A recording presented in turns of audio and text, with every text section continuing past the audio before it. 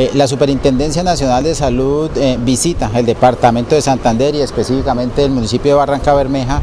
en aras de escuchar a las asociaciones de usuarios,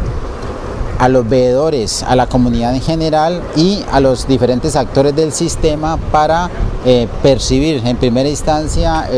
la forma de cómo se está atendiendo a los usuarios, cómo está la oportunidad, cómo está el tema de calidad y finalmente conformaremos una veeduría ciudadana para hacerle seguimiento a los compromisos que se deriven de estas reuniones.